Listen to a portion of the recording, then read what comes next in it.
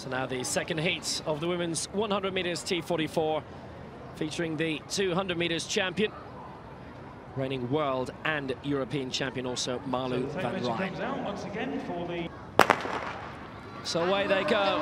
Van Rhijn off and running in four. This is a brilliant start by Cain in five. Van Rhijn having to fight back. She's quite a bit back. She is fighting back. Kamlish Van Rhijn comes back to win in the end. But Ryan Kamlish. Looks like Cain in the middle as well. 13.34. That was half a second faster. And Van Rhijn coming good in the final 40 metres, but she really had to work for that one this morning.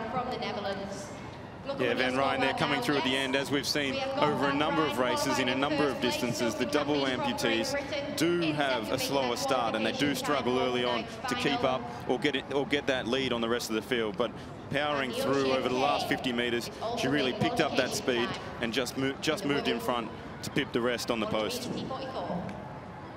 Yeah, Marlou van Rhijn not off to a great start at all, but Cain of Trinidad and Tobago certainly was alongside Fleur Jong. That brilliant result in the 200 metres, leaving her first major championships with a bronze medal. And in the last 40, Van Rhijn fighting back. She came up from about fourth place. Fleur Jong was well back. Kamlish leading for most of it, but overtaken right at the end by Van Rhijn.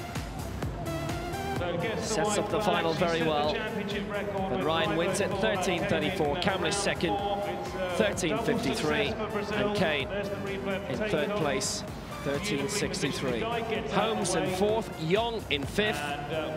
13.91, 13.93 respectively.